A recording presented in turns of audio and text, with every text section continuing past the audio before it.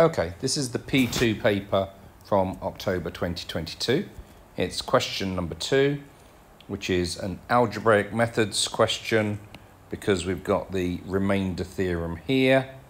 Then we're going to be using the binomial expansion. And finally, we're going to do a little bit of work on differentiation, but very little bit for that part.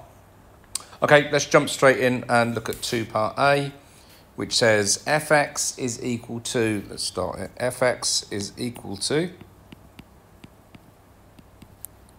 2 minus kx to the power of 5. And it says that when fx is divided by 4x minus 5, the remainder is that. So what that's telling me, just quickly, if 4x minus 5 equals naught, 4x equals 5, x equals 5 over 4. So that's what I'm going to put into my function there then.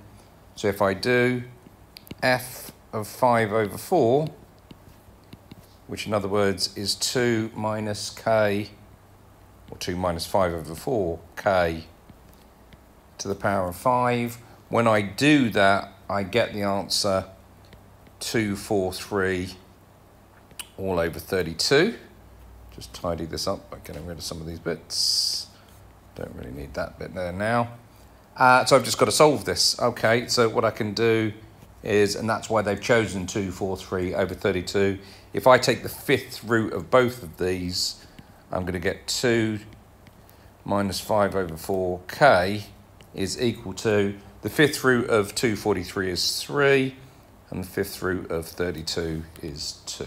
So if you want to say uh, take fifth root, don't need to say that, but just to make it a little bit simpler then. So we can just rearrange and get k from this. We're trying to show k is 2 fifths apparently. So just take your time with this if it's um, a proof. I'm going to get 2 minus 3 over 2 is equal to 5 over 4k. So 5 over 4k is equal to a half. And so from there, I'm happy to say, okay, so k works out to be equal to 2 fifths. So part A, pretty straightforward using the remainder theorem. Part B, find the first three terms of uh, in ascending powers of x of that binomial expansion. Right, okay, yeah, no problem with the binomial expansion.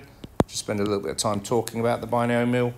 Uh, I use the idea that a plus b to the n is equal to a to the n plus, now you can say nc1 or you can say n1 written like that in brackets means the same thing. a to the, take one off the power of a, have one lot of b, and then plus we just continue that pattern. So n2, I'm going to take another one off the power of a, which means now I'll have to have b squared, and that just continues plus dot, dot, dot, dot, dot.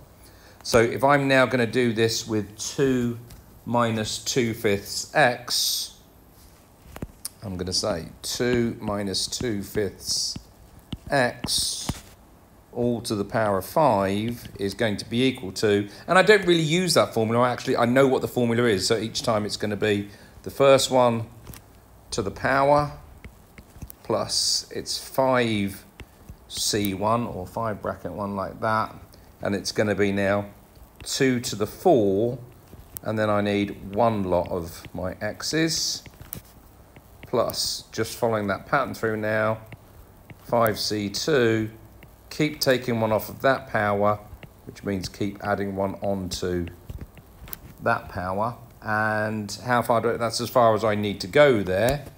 Okay, so that works out to be equal to just take your time and plug everything into the calculator or whatever your most effective method is for you to end up with the correct version, the correct coefficients here when we're going through and doing these. Um, just take your time and be careful about the signs and everything else like that. But the binomial expansion then works out to be equal to that. So that's part A and part B done. Part C says, can we find the gradients where at the point where x equals naught? Okay, well if this is fx, then if I want the gradient, I'm just going to do f dash x, And at first you might think, well, this has got more terms. I just haven't put them in here. So if I differentiate this, what I'm going to do is I'm going to get naught. I'm going to get minus 32 because minus 32x differentiates down to that. I'm going to get multiplied by the power and take one off. So I'll get 128x over 5 plus. Now there are more terms there, but I've got no problem with that because they, they would all be 0 anyway because we're actually doing f dash 0 in this case. So if we're doing f dash 0, I'm going to get minus 32 plus 128 times 0 over 5. And even if I had all those other terms, they'd all work out to be equal to 0 anyway. So f dash 0 is equal to minus 32. So if I want to find the gradient, which is differential, which is f dash x, at the point where x equals naught, it just works out to be that. Okay, hopefully that makes sense.